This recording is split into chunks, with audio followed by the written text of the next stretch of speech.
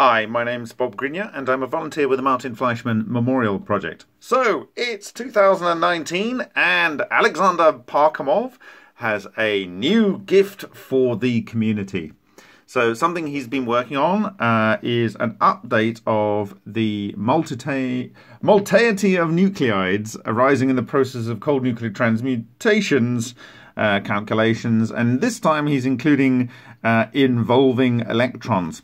Now, um, essentially, last year, uh, off his own uh, initiative, he produced a data set uh, which he's uh, um, discussing here in the first part of this article. He says, um, in processes of cold nuclear transmutation, as experiments show, a certain set of stable nuclides passes into another set of stable nuclides with the release of energy.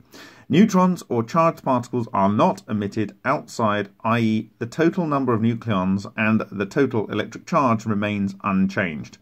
In order to identify fundamentally possible transformations during such processes, it is not necessary to delve into the physical mechanisms of the cold nuclear transmutation you can put them in a black box. So he's not going to talk about uh, what is actually causing this to occur, just uh, just that it does, and uh, look at what goes in and what comes out. At the entrance of this black box are the stable nuclides. At the exit are also stable nuclides plus energy. In the simplest case, there is one or two nuclides at the input, one or two nuclides at the output, and the number of protons and the number of neutrons uh, at the input is equal to the number of protons and neutrons at the output. Um, this, the article one, uh, which was his work from last year, it discusses this. They did a whole bunch of calculations, uh, and uh, this was provided to the MFMP and with two different programmers last year. This is uh, uh, the excellent Denis Lamotte. He produced this uh, very, very easy to use um, system on fusfis.org. We're hosting it on a, a site called fusfis.org. I don't know if you can see that. Maybe I can move that down. Ooh, fusfis.org. It's up there. Anyway, it's fusfis.org. And um, essentially, uh, it has uh, the, the considered isotopes 2 to 2 uh, nucleon transfer reactions, fusion reactions, and fission reactions.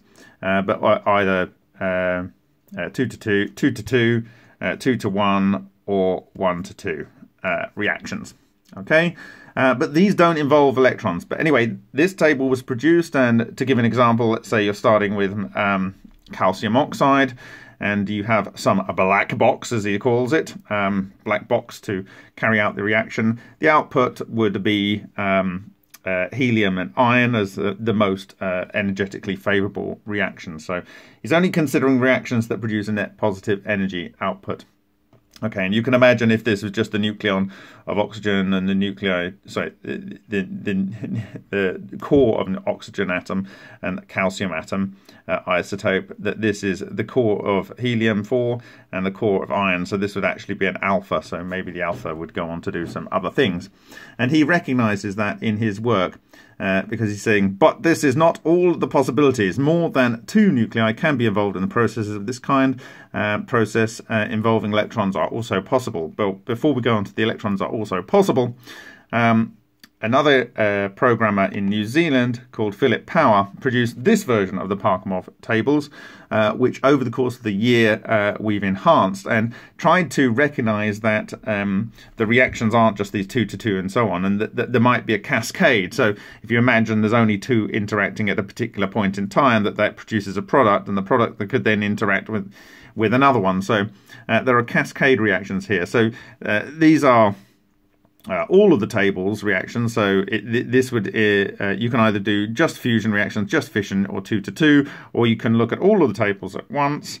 Um, uh, here, or you can do cascades, and in cascades, it will actually um, run down. Oh, I haven't got internet on here, so uh, but it will run down saying, look, there's a product output, and and uh, those can then uh, do a further reaction, and you can say that you know it must be the most energetic reaction that that goes on to the next uh, cascade. So everything's looking at the most favourable thing. Uh, and what we also did was we put in here properties that you can enter into the SQL query, uh, such that um, uh, for instance, you can say, uh, is it very electron negative? Does it, has it got a high electron negativity or high electron affinity? Or, for instance, is the product atom uh, uh, uh in the molten state, or will it want to form uh, solid clusters that might drop out of the reaction? So you can analyze your uh, transmutation data and uh, potentially come up with the process uh, by working through this. the, the, the most recent addition was to uh, add uh, atomic and uh, uh, bosonic nature for an atom and for the nuclei. And uh, I will talk about this in, in future presentations about how this might be relevant and how you might use this to predict good fuels and, and um, output from LENR reactions. Um, based on data that uh, was observed of Hutchison's work uh, uh, in Sochi. Um, so um, he also has a description here. If you go to the uh, notes, he has notes here uh, uh, where he talks about how to uh, work with the various properties and, and, and the timeline of improvement over the course of last year. However, uh, there is circumstances where you seem to have a, an imbalance of uh, um, nucleons, you don't have enough protons, you don't have enough neutrons to, to explain the observables, um, or that may be the case. So what Alexander has done, and I'm, I'm really going to just walk through it. It's a very short uh, little paper, uh, and uh, you'll see uh, why his justification um, uh, for this work is. Uh, he, you'll see his justification for this work. So, as a development of the research in this direction, a calculation was made of possible processes involving electrons and neutrinos. Usually, such processes associated with weak interactions are extremely unlikely, but in inverse beta processes, when not the emission but the absorption of electronic neutrinos anti or antineutrinos occurs, the situation is much better. Uh, we can assume uh, the sources of neutrinos and anti, uh, antineutrinos initiating beta process. So basically, what he's saying is that ordinarily uh, the, the, the likelihood uh, of uh, having interactions involving electrons and and neutrinos these weak interactions uh, are just just not going to happen. However, if it's kind of a reverse process where you've got uh, avail- availability of neutrinos and antineutrinos, um, uh, this is much uh, more likely. Now, uh, why can he say this with con- con- confidence? Well, he says first of all these are cosmic neutrinos. First of all, they're so he's talking about the where where the possible neutrinos and antineutrinos can come from. He says first there are cosmic neutrinos of very low energies, relic neutrinos, of which there are a lot of in the cosmos. Uh, as shown in 345. So he's referencing 345. These are 345. These are all his work. Now, he worked over decades to study um, uh, the effect of uh, uh, cosmogenic uh, neutrinos. He is basically the world's expert on this process, and he's saying the interaction of such ultra cold neutrinos, antineutrinos, with matter is much more efficient than in the case of high energy neutrinos, antineutrinos, uh, arising, for example, from nuclear reactions in the sun.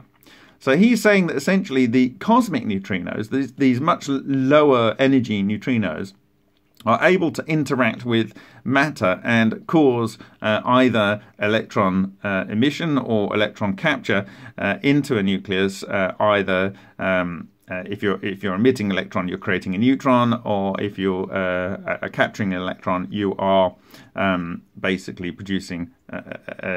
Um, sorry, if you're emitting an electron, you're creating a proton. If you're capturing an electron, you are uh, producing a neutron. So um, this is able to uh, shift the Z number around uh, for your isotope.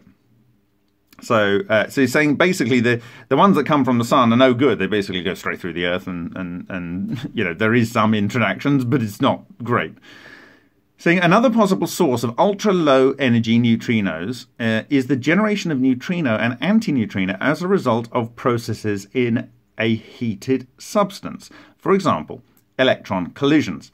If the mass of an electron, neutrino, is not higher than 0.2 eV, and uh, he's got a reference for that, their birth in a substance with a temperature of several thousand degrees in which there are many particles of kinetic energy of the order of 1 eV is quite possible. So he's basically saying that in his uh, 225 day experiment, where we, he was well uh, above uh, what was it, 1,700 degrees C. Uh, and actually, he, it doesn't say several thousand degrees. he doesn't say whether that's Kelvin, but uh, you know, if it was uh, Kelvin, then we would be talking about uh, in excess of uh, 2,000, uh, or around about 2,000 degrees C uh, in his 225 day uh, experiment. he's saying you can produce electron neutrinos, and he's saying it is very important that such neutrinos have a de Broglie maybe I'm saying that wrong, de Broglie uh, wavelength significantly exceeding the interatomic distance distances. If neutrino mass of 2.2 eV and kinetic energy of 0.1 eV, uh, the de Broglie wavelength is about 5 microns. This means that the interaction region encompasses a huge number of atoms of the order of 10 to the 13 in a solid or liquid substance. Of course, his experiment, the 225 day experiment, was with liquid nickel, uh, um, being at the temperature it was which makes transformations spanning many atoms and nuclei possible, with the result that even unlikely processes become noticeable. Note that in the process of inverse beta processes, in contrast to the, uh, to the direct, there is no loss of energy carried away by the emitted neutrinos. We also note that in the case of uh, interaction with the electron uh, nuclei, there is no problem of Coulomb barrier. Now, you know, this guy is the expert. You know, he worked at Rosatom. Um, yeah, yeah, I'm going to have to take his word on on this. Um, but uh, you know, this this uh, uh, is very very important. Uh, it's one of the uh, uh, the miracles of LENR, as it were. In computer calculation, two types of transformations with the release of energy are considered. So he's again only looking at those net positive reactions, either emit an electron or absorb an electron, uh, in which the laws of conservation of electric, baryon, and lepton charges are fulfilled. The black rectangle indicates the obscure physical mechanism of these processes. So, again, he is not concerned with what is going on in the black box, this little compressive thing here where the action goes on.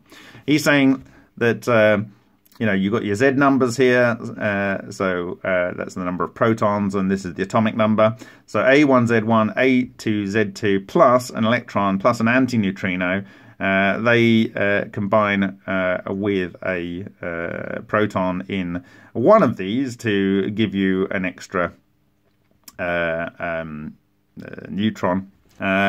we end up with A3Z3 plus A4Z plus plus Q. So essentially saying you start off with these nucleons and you end up with these nucleons and there's a min minus one in terms of uh, protons in uh, one of the Z numbers. Okay, so that is rearranging nucleons with the absorption of electrons. Okay, and then the second case is rearrangement of nucleons uh, with the release of electrons. So uh, essentially, uh, a neutrino is going in, uh, and that is causing the decay of a pro of a, a, neutron into uh, uh, an electron and uh, a neutron. So a neutrino goes in, causes decay of a neutron into a proton and electron. And so there we have it. And uh, so again, you have a, an additional proton, so the Z number of one of the reaction products uh, increases. So uh, in addition, he's done what he did for the first uh, um, sort of fusfis uh, stuff where you have um, uh, the uh, fusion reactions and fission reactions.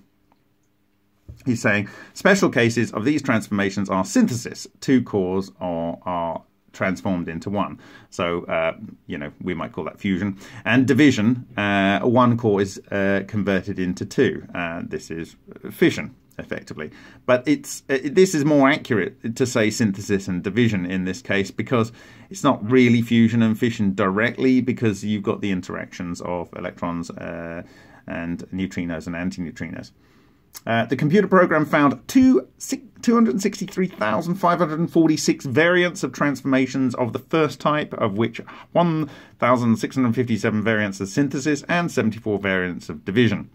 And 433,536 variants of the second type. Wow. Okay, so this combined data set is even bigger than those that are hosted at fusfis and that are also now hosted at uh, a new site uh, called NanoSoft. Uh, you can't really see that, but it's nanosoft.co.nz uh, for the uh, Phillip Power version. Okay.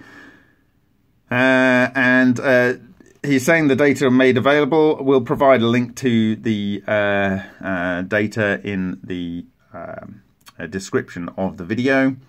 Uh, and then he goes on to explain uh, the potential products and processes that may be involved with his 225 day reactor. So that is it. Thank you for your time. And um, we are looking to work with the programmers of both fusfis.org and uh, nanosoft.co.nz uh, to uh, either integrate or, or, make a uh, another uh, interactive uh, database for you to explore the data and to try and predict what are good fuels to use in your LENR reactions. So thank you. Uh, if you like this video, please, uh, uh, uh you know, say that you like it. And uh, I have noticed that 82% of people watching our videos are not uh, people that are subscribed to our channel. So please consider subscribing to the channel because we're going to have lots of really super interesting videos coming up soon. which will explain or attempt to explain and show data from a lot of different research. So thank you very much for your time.